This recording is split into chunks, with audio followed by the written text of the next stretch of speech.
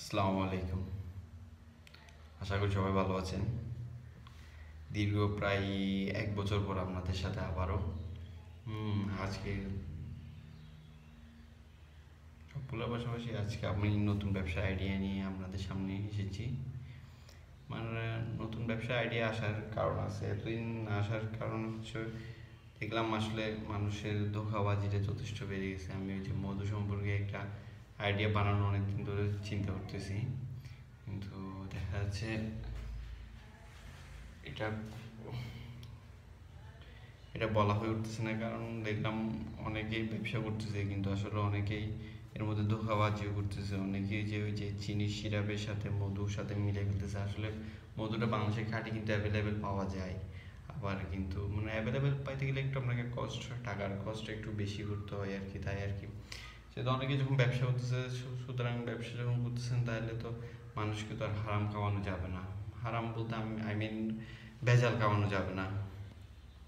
মানে হারাম বলতে আপনাকে, আমি ওইটা বোঝাতে চাচ্ছি না, যে ভেজাল খাওয়ানো মানুষকে যাবে না যেহেতু। তো দামটা ভালো নেবেন, দরকার হলে ভেজাল খাওয়ানো যাবে না। আজকে সুতরাং আইডিয়াটা নিয়ে বলতেছি। অনেকে আসলে ওই যে মধুর চাষ করে থাকেন, অনেক মলরা মানে মধুর চাষ করে থাকে, যারা মধু কালেক্ট করে বিভিন্ন জায়গায় গিয়ে, বিভিন্ন এলাকায় গিয়ে আমরা ইউটিউবে সার্চ দিলেও পাবেন যেমন দীপ্ত কৃষি টেলিভিশনে যে দীপ্ত কৃষি দিয়ে সার্চ দিলে, এখানে মধু দিয়ে সার্চ দিলে আমরা এখানে কারা কারা মধু আহরণ করতেছেন তাদের একটা টিম পাবেন। যারা মানে হোলসেল বিক্রি করে, ডাবরের মতো কোম্পানি আপনার বাংলাদেশে যারা প্রাণের মতো কোম্পানি যাদেরকে মধু সাপ্লাই দেয়। আর প্রাণ বলতে তো ওদের মধু যথেষ্ট প্রাইস এমন সম্ভবত প্রাণের হাফ কেজি মেবি চারশো থেকে সাড়ে চারশো টাকা। আর ডাবুরেরটা দাম হবে যথেষ্ট ডাবুর যেহেতু ছোট ছোট প্যাকিং করতেছে। আসলে মালের এমন যে ডিমান্ড হচ্ছে প্রোডাকশনাল বিজনেসে এমন হচ্ছে মানে প্রত্যেক মালের রেট ওঠানামা করে কি যত ছোট ছোট প্যাকেট করা যায়। যেমন আপনি চিপসের ধরেন আমি ইনশাল্লাহ চিপসের একটা আইডিয়া নিয়ে আপনাদের সামনে শেয়ার করব ইনশাল্লাহ সামনে। হুম, এখন আপনারা যেভাবে শুরু করবেন মধুর ব্যবসাটা আপনারা করতে পারেন যারা মধু আহরণ করে তাদের কাছ থেকে একটা বড় পরিমাণ মধুর নিয়ে হতে পারে তা এক মন দুই মন কিন্তু এক মন দুই মন নিলে আপনার কাছে কিন্তু তখন বেশি টাকা আসবে না। যদি আপনি তখন এক লিটার বা এক কেজি বা দুই কেজি নেন তাহলে তাহলে আপনার কাছে একটু বেশি পড়তে পারে যেহেতু এক কেজি মধুর দাম সেম সেম আমরা খুচরা সেল করি সম্ভবত হাজার থেকে বারোশো আটশোশো আটশোশো থেকে বারোশো টাকা। কিন্তু যদি পাইকারি কিনতে যায়, তা, তাহলে আপনার ম্যাক্সিমাম পাঁচশো ভিতরে কিনা যায়, যদি আপনি এক মন বা দুই মন কিনে রাখেন। এবার আসি প্যাকেজিংয়ের ব্যাপারটা। আসলে প্যাকেজিং করার সময় আমরা সাধারণত একজন মানুষ মধু কেনার সময় হাফ কেজি, আড়াইশো গ্রাম কিনে অনেকেই অনেকেই কিনে আড়াইশো গ্রাম হাফ কেজি কিনলে মনে করেন আপনার কুরিয়ার কুরিয়ার চার্জ দিয়ে একটু পোষানো যায়। যদি হাফ কেজির নিচে কিনে তাহলে মনে করেন আপনার কাস্টমারটা চলে যাওয়ার সম্ভাবনা বেশি। কারণ উনি যদি দেখা গেল আড়াইশোর দাম হচ্ছে আড়াইশো টাকা, কুরিয়ার চার্জ হচ্ছে একশো টাকা বা সামথিং। একশো টাকা সামথিং হলে উনি একশো, আড়াইশো টাকার একটা মাল কিনলো, এখানে একশো টাকা কুরিয়ার চার্জে দিতে হলো। তো মনে করেন ওই ওই জায়গায় কাস্টমার নিজে মনে করে আমি ঠকতেছি, যেটা কাস্টমার মনে করে, আমি সেই জন্য মনে বলব পাঁচশো গ্রাম সেল করেন আমরা পাঁচশো গ্রাম করে বোতলজাত করেন।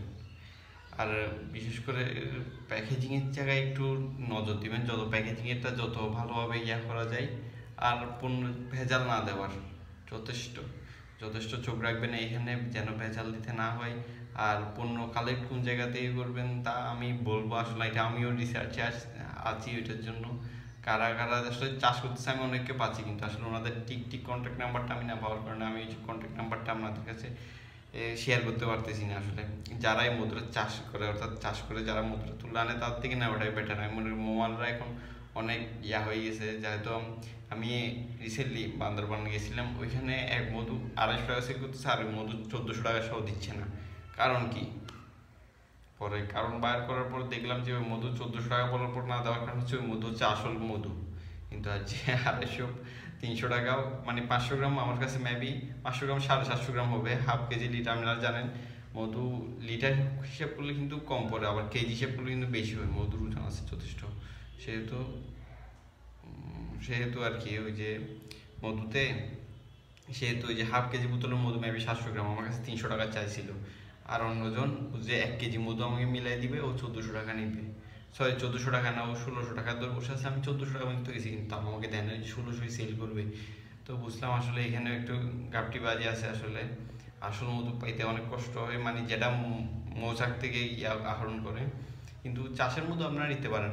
বড় বড় কোম্পানিরা অর্থাৎ প্রাণ ইয়ারা যে ডাবল কোম্পানি, ওরা কিন্তু চাষের মধুই নেয় যতটুকু জানি আমি। আর আপনারা ওইটাও একটু রিসার্চ করতে পারেন ওরা কোন জায়গা থেকে মধু ধারণ করেন আর কমপক্ষে ওদের প্যাকেজিং দেখেন, আর আপনি কীভাবে প্যাকেজিং ওদের আপনি বিভিন্ন বাজারে অনেক দামি দামি ব্র্যান্ড আছে মধুর জন্য। তাদের প্যাকেজিংগুলো একটু দেখার ট্রাই করেন। তাদের প্যাকেজিংগুলো দেখলে কী হবে জানেন? মানে ওই যে তাদের প্যাকেজিংগুলো দেখলে মানে আপনার একটা আইডিয়া হবে মানে আপনার প্যাকেজিংটা কী স্টাইল করে পারলে একটা কাজ করেন। একটা হচ্ছে একটা হাইন্স দিচ্ছি মানে একটা আপনাকে সিম্পল একটা হাইন্স বলতে পারেন, এটা একটা ট্রিক্স ট্রিক্স ধরতে পারেন। কারণ ট্রিক্স কি জানেন? আপনি বিদেশি যেগুলো মধু মানে যারা বিদেশি, বিদেশে মধু ব্যবসা করবে, ওদের প্যাকেজিংগুলো একটু স্টাডি কীভাবে করে দেখেন আপনি একটু? একটু স্টাডি করে দেখেন। দেখবেন অনেক সুন্দর সুন্দর, কম খরচে অনেক ভালো ভালো সুন্দর সুন্দর সিম্পল একটা প্যাকেজিং করে, যেগুলো মার্কেটে হিট করবে। হ্যাঁ মার্কেটে হিট করাটাই আসল। মানে আপনি মার্কেটে হিট করবে আর ভেজাল দিবেন না। প্লিজ ভেজাল দিবেন না। ভেজাল দিবেন তো নিজেই ঠকবেন আসলে। নিজের কোম্পানির ব্র্যান্ডকে নিজে খারাপ করবেন। মানুষ অনেক নামে দেয় ব্র্যান্ড আছে একটা ছোটো জিনিস থেকে উঠছে আসলে কারণ ওরা আজকে ভেজাল না দেওয়ার কারণে। অনেক ব্র্যান্ড আছে, অনেক লোকাল ব্র্যান্ড আছে। আপনার এলাকায় দেখেন যে কুমিল্লার বলেন, রসমালাই বলেন, এই যে এইগুলো, এগুলো মূল কারণ হচ্ছে এরা ভেজাল দিচ্ছে না। অন্য কোনো কিছুই না, আমি মনে করি এটাই। আর বিশ্বাস যথেষ্ট বিশ্বাস। আর রেট সবসময় ঠিক রাখবেন, একটা ফিক্সড প্রাইসে রাখবেন, কখনো রেট কমাবেন না বাড়াবেন বাড়াতে পারেন বা না বাড়াতে, এটা আপনার ইচ্ছা মানে মাছ প্রোডাকশন আর সবসময় সাপ্লাই চেইনটা ঠিক রাখবেন। মানে ওই যে কাস্টমার মাল চাইছে কাস্টমারকে আমি মনে করেন আজকে কাস্টমারকে আমি একুশ তারিখ অর্ডার দিছে কাস্টমারকে বললাম আমি বাইশ তারিখ মধ্যে কাস্টমার মালটা বাইশ তারিখ যেন পাই কাস্টমার কাস্টমারের বরাবর। আর যদি কাস্টমার ওই আমরা অনেক সময় কী করি রিটার্ন নিতে চাই না, মনে করেন কাস্টমার বলল যে, আমার তো মানে এটা ভেজাল মনে হচ্ছে বা এক্স ওয়াই জেড মনে হচ্ছে, আমি রিটার্ন দিতে সমস্যা নাই রিটার্ন নিয়ে ফেলবেন। মানে যদি মানে আমরা কি ভেজাল আর যদি কেউ ভেজাল প্রমাণ করতে চায়, তার কাছে সরাসরি ইয়াও করতে পারেন।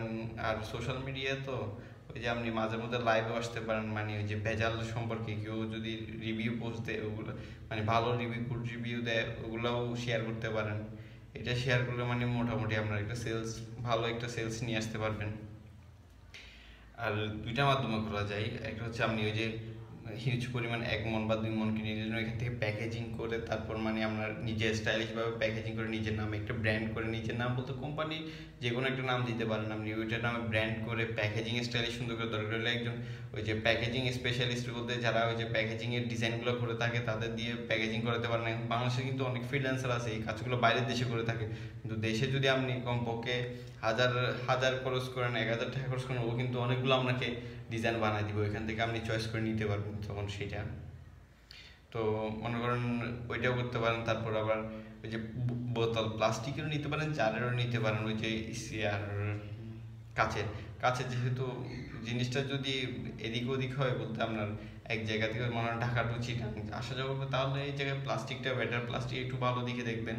যেহেতু আমি একটা জায়গায় দেখছি আসলে জার্মানির একটা মধুর দাম প্রায় সাতশো গ্রাম সাতশো গ্রাম সরি সাড়ে তিনশো গ্রাম মেবি সাড়ে তিনশো গ্রাম মধুরার দাম আঠারোশো টাকা। কিন্তু ওইটার প্যাকেজিং যে আসলে, সেই মানে এটা মানে সেই বলতে হবে প্যাকেজিংটা এই মধুর আসলে মানুষ প্যাকেট দিয়ে কিনে। আর ভিতরের মধুটা দেখতে কালার একটু ঘন, কিন্তু যথেষ্ট ভালো মধু। এটা মানে আমার আব্বা যেহেতু বাইরে থাকে, উনি ওই যে উনি আনছিল, ওই জন্য ওনাকে আমি বলছিলাম।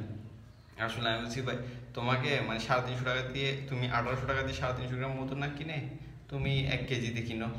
মানে এক কেজি, এখানে তো আপনার সর্বোচ্চ এক হাজার বা বারোশো টাকা দিয়ে এক কেজি পাওয়া যাচ্ছে। আসলে ভেজালের, উনি বলছে, বিশ্বাসটা কতটুকু? আসলে এটা আমি ভালো মধু পাবো। মানে উনি এখানেও মধু কিনছিল, দুইবার কিনার পর দুইবার টক ছিল। আসলে এটা আমার একটা আক্ষেপের কারণে আমি এই ভিডিওটা করছি আসলে। ইনশাল্লাহ সবাই ভালো থাকবেন, সুস্থ থাকবেন। আশা করি, আর ভালো লাগলে শেয়ার করবেন।